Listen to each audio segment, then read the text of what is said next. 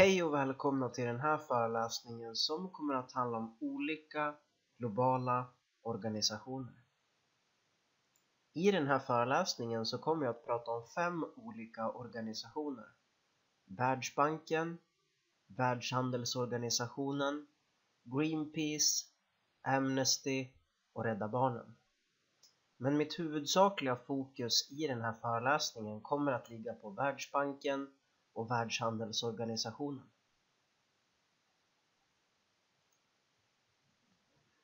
Låt oss börja med Världsbanken. Världsbanken är alltså en stor global bank som styrs av dess medlemsländer. Och Världsbanken arbetar framförallt med att ge ut olika typer av lån och ekonomisk hjälp till bland annat fattiga länder. Världsbanken har sitt huvudkontor i Washington, USA och ni kan se huvudkontoret på bilden här.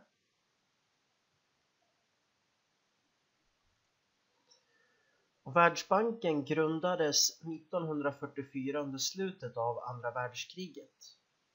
Och varför man grundades just då, det har att göra med att Världsbankens officiella huvuduppgift var att man skulle hjälpa återuppbygga Europa och de städer som hade blivit förstörda till ruiner under andra världskriget. Men inofficiellt så var det också ett sätt för USA att skaffa allierade mot det kommunistiska Sovjetunionen som man redan på den tiden började se som ett stort hot.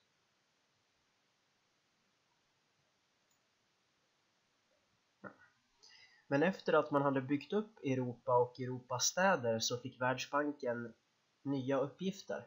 Och huvuduppgiften som Världsbanken fick var att man skulle hjälpa fattiga länder genom att låna ut stora summor pengar till dem. Alltså ge dem stora lån för att på så sätt få igång landets industri och ekonomi så att det liksom rullade på. Och därför så arbetar Världsbanken än idag med att finansiera olika typer av utvecklingsprojekt över hela världen, men främst i Afrika och i Asien. Vilka är det då som styr Världsbanken? Ja, Världsbanken har ett ganska unikt styrelsesätt. Ju rikare ett land är, desto fler röster får de. Och en dollar är lika med en röst. Och det här gör att länder som är väldigt ekonomiskt starka som USA sitter på en väldigt stor andel av rösterna. USA sitter på ungefär 15% av rösterna och de rika länderna i världen sitter på tillsammans mer än 60% av alla röster. Dessutom så är det så att eftersom USA har så många röster så är de också det enda landet som har vetorätt. Det vill säga att det är de som avgör om ett beslut ska gå igenom eller inte. Det är också därför som Världsbanken alltid har haft en amerikansk president. Idag så styrs Världsbanken av en amerikansk president som heter Jim Jong-King som är född i Sydkorea men uppväxt i USA. Och ni kan se han på bilden här. Vad krävs det då för att ett land ska få låna pengar av Världsbanken? Ja, generellt så kan man säga att det är väldigt höga krav. Och de här kraven kan också ibland kallas för strukturanpassningar eller structural adjustments på engelska. Och de innehåller ofta saker som att ett land måste ta bort tullarna, att olika offentliga myndigheter och organisationer som sjukhus och skolor ska privatiseras, att staten måste skära ner på de offentliga utgifterna och ibland så är det också så att landets valuta måste devalveras, det vill säga bli mindre värd. Förespråkarna för Världsbanken hävdar att det här har hjälpt väldigt många länder att komma ur fattigdom och få fart på landets ekonomi. Enligt Världsbanken själv så har man hjälpt över 600 miljoner människor till bättre hälsa och sjukvård och över 70 miljoner människor till bättre tillgång till rent vatten. Och det här gäller framförallt olika länder i Afrika men även i Sydamerika och i Asien. Världsbanken brukar också lyfta fram några länder som lyckade försök eller som bra exempel på att deras politik och deras strategi fungerar. Ett av de länder som Världsbanken gärna lyfter fram är Mosambik som på senare år har fått en allt starkare ekonomi och ekonomisk tillväxt. Ett annat exempel som Världsbanken gärna lyfter fram är Tanzania som precis som Mosambik har fått en allt starkare ekonomisk tillväxt de senaste åren. Men det finns också en massiv kritik emot Världsbanken från olika håll. Under 80-talet så fick Världsbanken väldigt stor kritik av FN för att deras strukturanpassningar eller structural adjustments har lett till miljontals människors sämre utbildning, hälsa och till och med död. Och de som kritiserar Världsbanken brukar ofta hävda att de här pengarna som Världsbanken lånar ut endast gynnar en liten rik del av befolkningen och inte den stora majoriteten.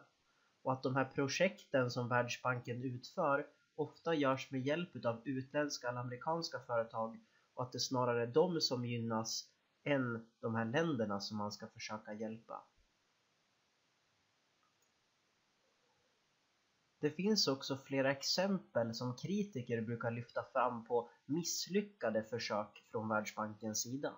Ett sådant exempel är Bolivia, där man tvingade den bolivianska regeringen att eh, privatisera eh, vatten, eh, vattentillförseln i landet, eller vad ska man säga, mm, det här som sköter vattentillgången. Och det kallas för Bechtel-avtalet därför att det var ett amerikanskt företag som fick ta över vattenregleringen i landet. Och faktum var att det som hände då var att Bechtel-företaget de höjde priserna på vatten jättemycket. Och det här ledde till och med till olika typer av upplopp och att man till slut ogiltigförklarade det här Bechtel-avtalet.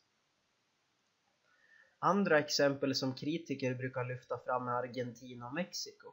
För när Världsbanken tog bort deras tullar då gick stora delar av deras industri i konkurs och deras ekonomier kraschade. Andra exempel som kritiker brukar ta fram är Ecuador.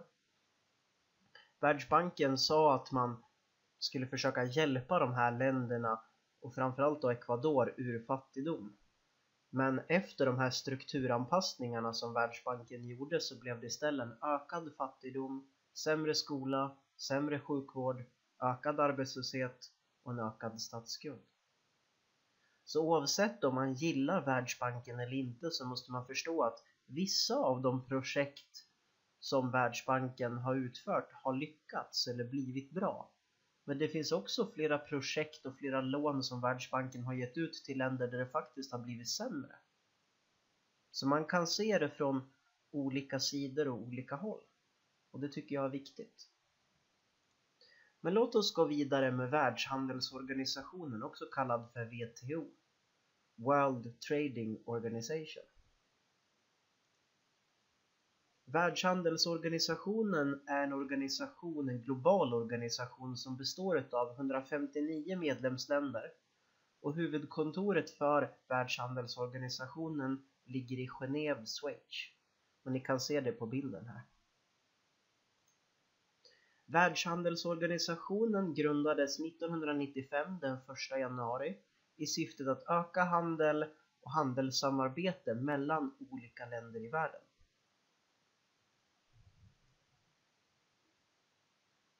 Så det är Världshandelsorganisationens uppgift att ta hand om olika regler som finns när det gäller just internationell handel och handel mellan olika länder. Och man har tre olika huvudområden. Friare handel i världen, se till så att det finns ett regelverk kring hur handel ska bedrivas och funka och lösningar också till olika typer av handelskonflikter. Vad är då målet för Världshandelsorganisationen? Ja, generellt så kan man säga att det är att försöka skapa en friare handel och en friare global marknad där alla länder och alla varor ska behandlas så lika som möjligt. Vem styr då Världshandelsorganisationen? Ja, väldigt många länder är med i den och alla de länderna har rösträtt. Men det är ändå så att ju starkare ekonomi ett land har desto större makt har de eftersom de får då mer att säga till om när det gäller olika typer av handelsavtal. Som exempelvis då länder som USA och Kina. Förespråkarna för WHO har hävdat att Världshandelsorganisationen skapar en mer global och friare värld. En rikare värld där alla lättare kan handla med varandra. Men det finns också en massiv kritik emot Världshandelsorganisationen. För de har hävdat att de har gjort allt de kan för att försöka minska inkomstklyftorna mellan fattiga och rika länder. Men ändå så ökar skillnaden mellan de fattigaste länderna i världen och de rikaste länderna i världen. Och Världshandelsorganisationen tillåter bland annat västerländska företag att fly undan skatt från länder i exempelvis Afrika. Och det här kostar dem årligen över 7000 miljarder. Det är tio gånger mer än allt bistånd som vi skickar till Afrika.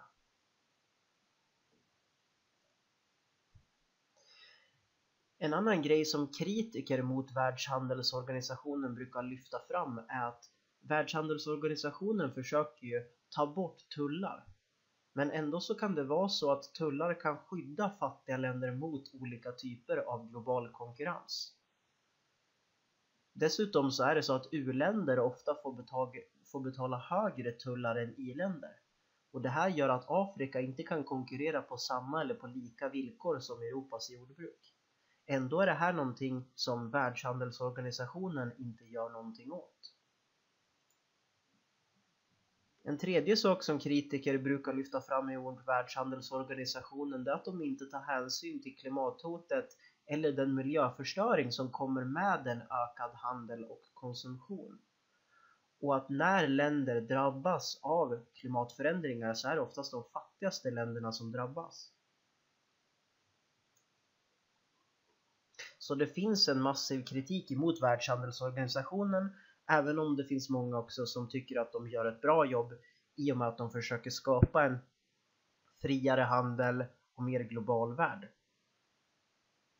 Men jag tänkte också att vi skulle gå in lite grann på tre stycken olika hjälporganisationer som också på sätt och vis är globala på många sätt. Jag kommer prata nu lite grann om Greenpeace, Amnesty och Rädda Barnen. Greenpeace är en organisation som slåss för miljön och grundades i Kanada år 1971. Och man har idag över 15 000 volontärer på olika platser runt om jorden. Amnesty är en global organisation som grundades i England 1961 och man jobbar framförallt för de mänskliga rättigheterna. Man har över 3 miljoner medlemmar och de hävdar att vi måste få till en förändring i världen innan det är för sent. Så de försöker bland annat eh, få journalister frisläppta, de försöker få länder att ta bort saker som dödsstraff och så vidare. Sist men inte minst så tänkte jag prata lite grann om Rädda Barnen. Och Rädda Barnen är en global hjälporganisation som finns i över 120 olika länder. Och de arbetar framförallt med barnens rättigheter och får hjälpa då svältande, fattiga och sjuka barn runt om i världen på olika sätt. Rädda Barnen grundades 1919, alltså i slutet av första världskriget. Och man grundades framförallt för att man skulle då hjälpa svältande tyst, tyska och österrikiska barn. Idag så jobbar alltså Rädda Barnen med att försöka hjälpa och ta hand om utsatta barn runt om i världen.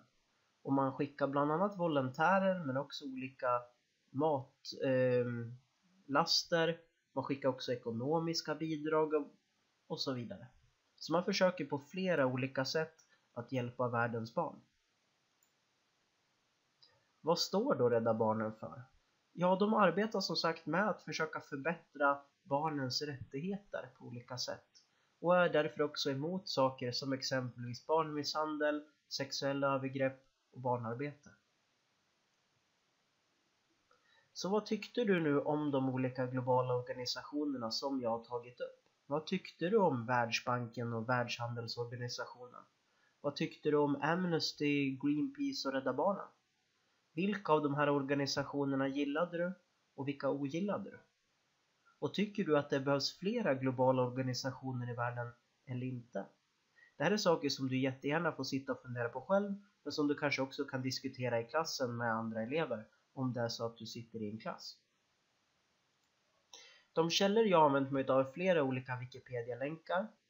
Jag har också använt Världsbankens egen hemsida eh, och SO-seriens bok Samhällskunskap av Ulla M Andersson, Per Evert och Jurel Hedengren. Jag hoppas att ni har lärt er lite mer under den här föreläsningen om Världshandelsorganisationen, Världsbanken, Rädda Barnen, Amnesty och Greenpeace. Ha det gott så länge hörni, hej!